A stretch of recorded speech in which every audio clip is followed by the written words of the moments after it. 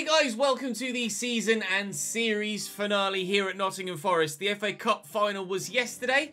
I'm not going to spoil you just yet, so do make sure you check the channel page for that video. This is the last FIFA 22 video I am planning on making before FIFA 23 begins. So do make sure you're subscribed to the channel with the notification bell ticked and you won't miss that opening episode of the Arsenal save on FIFA 23 as soon as I get access to it which should be sooner than Ultimate Edition launch on the 27th. It might be a lot sooner than that. Subtle wink. Uh, right. We know the task at hand here. We have failed to finish top four, despite being in the top four on the final day twice previously. We're in the top four with two games to go for us, and we know that a win in this first game against 14th placed Liverpool, 14th placed Liverpool, would give us Champions League football for next season. Or at least the accolade of actually being able to get into the top four with this Forest side. Manchester City's team is remarkably strong and the fact that they've only got 68 points after 37 games is a miracle. This is like the the season where Leicester won the league where everybody else was just rubbish and couldn't put together a massive amount of victories. And Leicester were like, well, we'll just win the league then with a low points tally.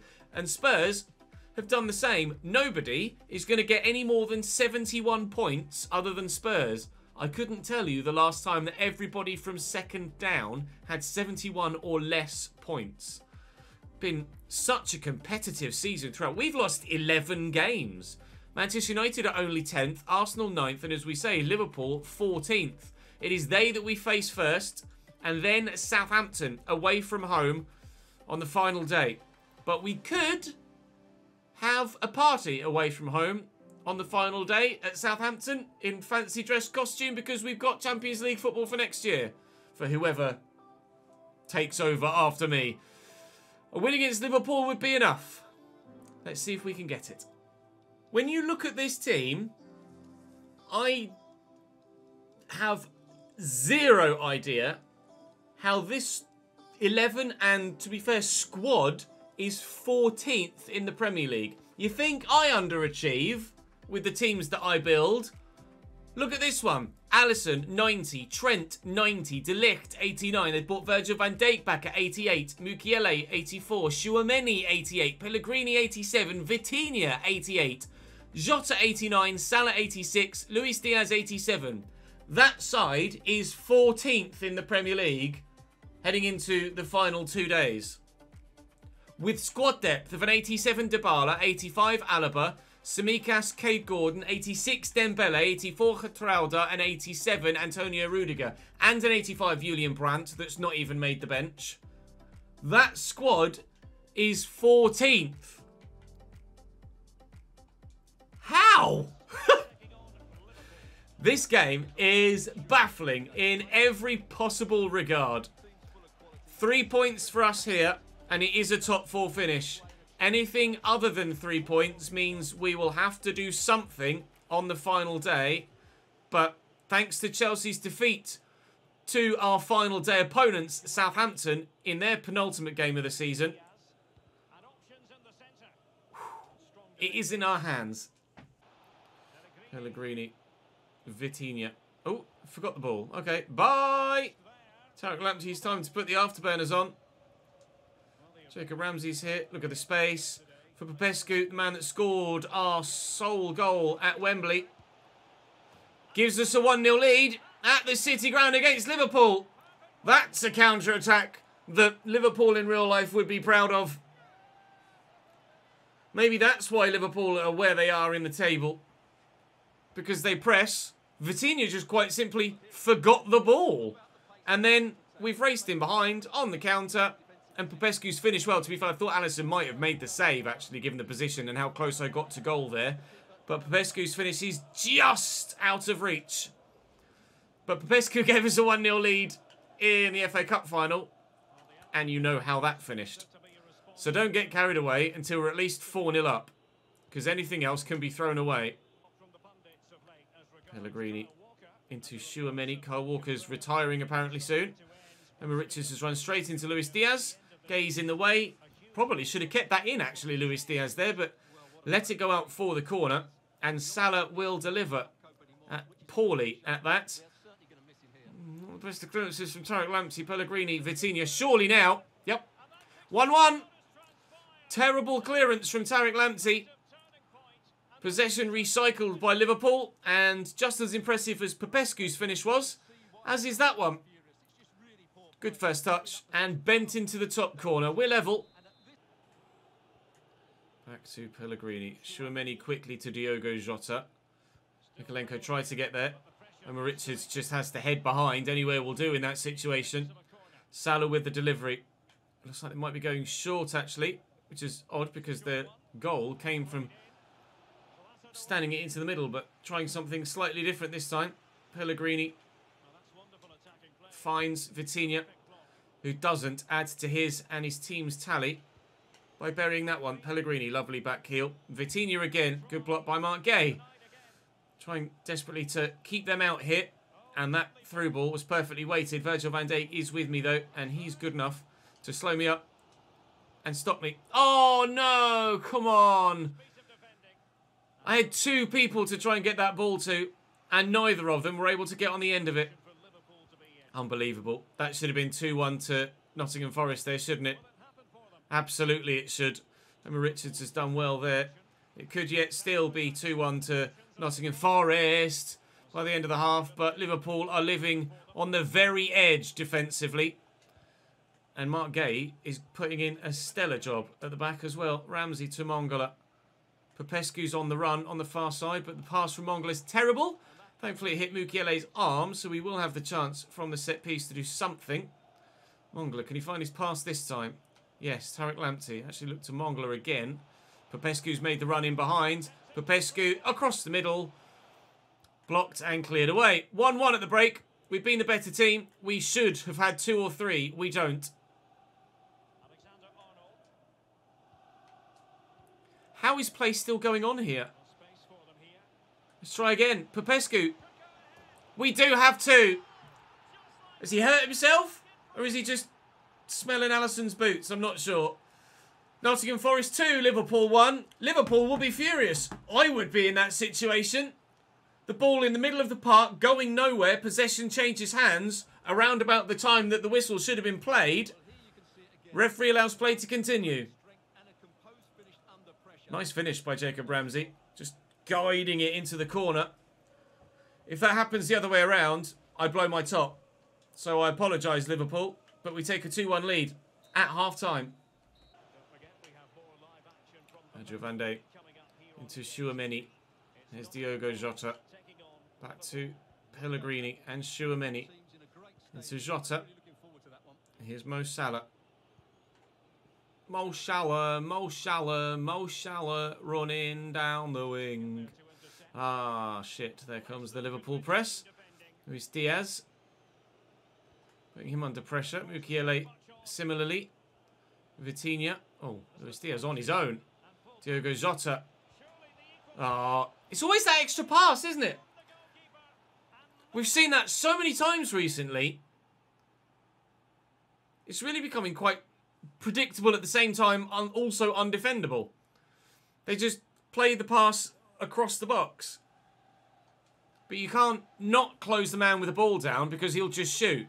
But they just do this so much. Juventus did it Manchester United did it yesterday. Liverpool have done it now. Leicester have done it to us a handful of times. It's a very repeatable goal that we see being scored against us. It might be that it's the way that I play that offers up the opportunity for the AI to do it. I don't know whether you guys have been conceding a number of goals that look like that as well. But certainly it is a pattern that I have recognised in my own performances or my own results in this save. And it's 2-2 now. Vitinha picking up a yellow card. Is that Pellegrini? It's Lorenzo Pellegrini picking up a yellow card for something. Ramsey delivers the corner. Keeper's not come. And Schlotterbeck will punish them for that. We have the lead again. If we were going to do it today, we were never going to do it the easy way, were we? But we're back in front again. 15 to go. I want to make a change. Ramsey is knackered. So let's bring Eddie Salcedo on. Tammy for Tariq. And Rashford can go out wide. Make him a winger, not a full, not a right mid. 15 to go. Jacob Ramsey has played his final minute today. Oh my god, Matthijs de Ligt went for an acrobatic bicycle kick. If he'd have scored that, then I might well have just given up the same way I did against Man United yesterday. Eddie Salcedo played in over the top. His touch isn't great. He's turned well enough, though. And then Antonio Rudiger entered the chat. He decided he didn't want to concede. He also decided he didn't want to keep the ball either. He's just kicked that straight off the pitch. So uh, you might as well have let me score, Antonio, I think. Popescu's touch is stupidly heavy, and now Mo Salah has it again. But he's run straight into Ndidi, and we have it back again. What is going on? Trent intercepts that, and Salah finds Pellegrini. Forward to Tsimikas. The left back off the bench, seemingly playing at right wing at the minute. And getting a goal through that position as well. Onside and in behind. Tsimikas. What? 3-3. Unbelievable. Seventh minute. Or seven minutes from time, sorry. Oh, yeah, yeah. His first goal of the season as well in 32 games. They bring on a left back at right wing. And he scores a goal. Of course he does. No, Salah's still here. I could have sworn it was Salah that went off. Could have sworn it was Salah. Maybe he was just in the way of the cutscene. Schlotterbeck intercepts there. Salcedo finds Popescu. Tammy's on his way. I think he's offside, actually. Tammy Abraham there. He's going to keep going. It seems he's on. So turn, pass, fail. Pass, goal, no. Oh, as if the first pass wasn't good enough. Rashford. Schlotterbeck's up. Yo! So very nearly. So very nearly. It's a point against Liverpool. In typical ridiculous fashion, we draw against Liverpool in this game. And it means that our top four status will go to the final day with a question mark hanging over it yet again. For the third straight season, we are in the top four on the final day, but our position isn't safe. Southampton to come away from home, and they have a very good team. They play 4-4-2, at least they always used to play 4-4-2, and they have a particularly good 11. They just beat Chelsea in that round of fixtures, which is why it's still in our hands. We will finish fourth or fifth this year. A point should be enough because goal difference is plus three in our favour. Chelsea have West Ham away. I don't see them winning by three goals or more. But that's only if we get a point. If we lose and they win, it's fifth. And a number of you, if you're betting men, would probably put some money on that. Bournemouth, Villa and Brentford already relegated. Norwich are safe as are Crystal Palace, both four points from the drop zone with one game remaining. So the only thing that can change is that fourth spot. We'll try our best to make sure it doesn't change, but don't count on it. 4-4-2 as expected for Southampton on the final day of the Premier League season. On the final day of this save, Danny Cardenas is the man in goal. Marcus Holmgren Pedersen, Eduardo Quaresma, Nathan Ake and Owen Wijndal the back four. Kingsley Coman, Danny Ceballos, Khéphren Thuram and Ruben Vargas. The midfield four with Nathaniel Mbuku and Amin Gouiri, the front two. Options on the bench are not great, but there are some that could definitely make an impact for sure. Still no Jeremy Pino, still no Callum Hudson-Odoi, still no Matteo Guendouzi. They've all been missing for weeks if not months. A point should be enough, but obviously we're going to keep an eye on that Chelsea result. If Chelsea win by four goals, then we will need to make sure that we win. But if we just go for the win anyway, then we should be fine. Vargas with a header over the bar. Southampton with the early warning shot. Ceballos. Uh, Kingsley Coman's quick, and he? He's going to get on that, and he's going to get away from me. The finish, not as accurate as it need be, was very accurate, but he needed just an extra couple of inches. The other side, the goalkeeper, Popescu with runners, or he's left the defender for dead there, who's then had a swipe at him for good measure. Jacob Ramsey will knock that in front of Popescu again, and if he buries this, it would have been a wonderful goal, but unfortunately, his finesse shooting from distance isn't quite as good as his finesse shooting in the box. No goal on this occasion for Octavian. Here's Mbuku.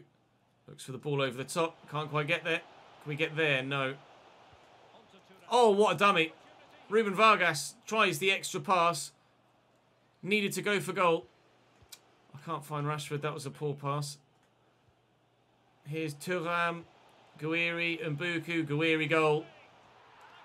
The keepers just they just don't try and save it, do they? They just dive sideways or backwards almost. It's past him, and it's Southampton 1, Nottingham Forest nil. It's good it's good passing football. But mm, maybe I'm being a bit too harsh on the goalkeeper there. 1-0 Saints. Khéphren Thuram to Amin Gouiri. Out wide to Windop. Back to Khéphren Thuram again. Well, that pinballed around. It is going to happen again. The exact same goalkeeping animation as before, and Southampton got lucky as hell in the build-up. It's don't. It's going to happen again, isn't it? Watch the build-up here. I get an interception on it there, and it it rebounds up. It's the exact same animation where the keeper should save it, but I get the interception in, and it rebounds up off his toe, hits him in the face. I read it, step in, his first touch. It goes up his leg, hits him on the shoulder, and goes straight to a Southampton man. And then again, there's not much power on the shot. There's not much accuracy on it. And the same animation. 2-0 Southampton. It would be very apt if the season did finish in this manner.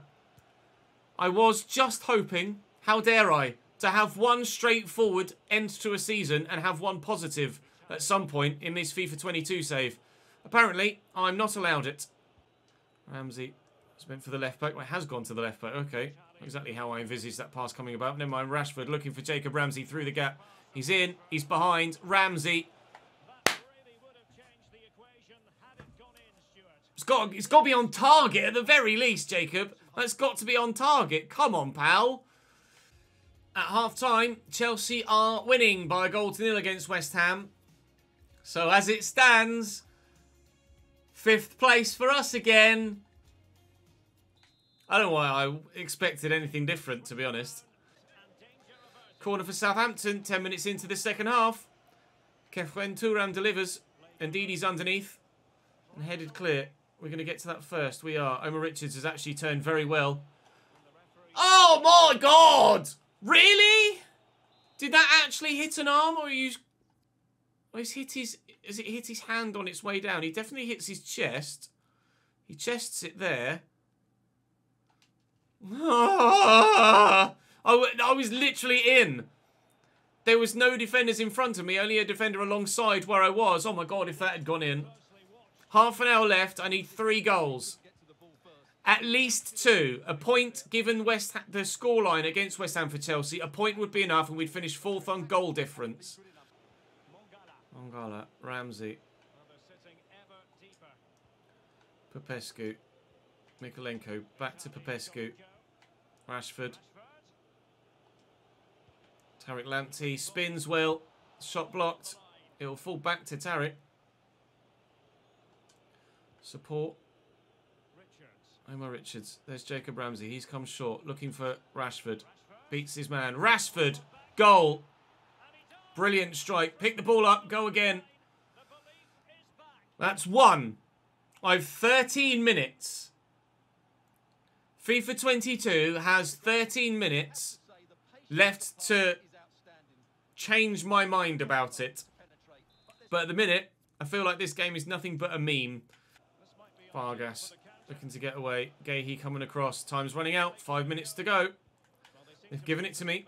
Popescu. Mangala. What a challenge. Khéphren Thuram has never had longer legs than that. Lamptey's in the way. Two minutes remain. Popescu. Tammy. Rashford. Out to Richards. Delivery. Oh, Tammy was ready and waiting. It's going to be a 2-1 defeat against Southampton. Or is it? Yeah, it is, because Schlotterbeck tackled him and stumbled. It's going to be 3-1. Oh, it's gone wide, but the final whistle goes. Now, what did Chelsea do against West Ham? Were West Ham able to come back? Or uh, did Chelsea continue to win, which we surely expect them to have done? FIFA 22, ladies and gentlemen. Fifth place for Nottingham Forest. Europa League finish. That's three seasons in a row that I've been in the top four on the final day and been fucked.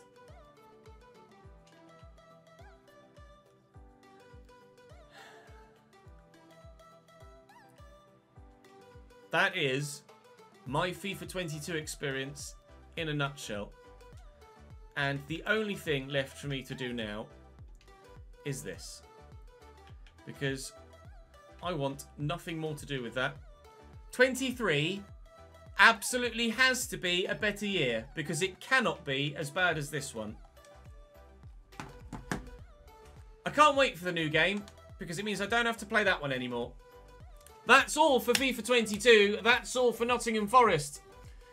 That's all I care for FIFA 22. Thank you for your consistent support throughout the course of the year. That has been the most consistent thing over the past 12 months, has been your support for the content, regardless of the shite that we've put up with from the video game. And I know you guys put up with the same yourselves as well. 23 cannot be that bad. So, here's hoping, here's looking forward, in fact, dare I say it, to the launch of FIFA 23 next week, and content on the new game will be coming to you this weekend. I pray, if everything goes according to plan, FIFA 23 content will be coming to you this weekend. Thank you very much for watching. Thank you very much for your continued support. That summed up FIFA 22 and my experience with it. So, the only way is up. Come and join me on stream. You can see all the behind the scenes and have decisions made as per your suggestion, even more so than just the comment section, on the fly. Because streaming all of my FIFA 23 content, and I'd love to have you with me over there. Thank you very much for watching, guys. I shall see you in the new game.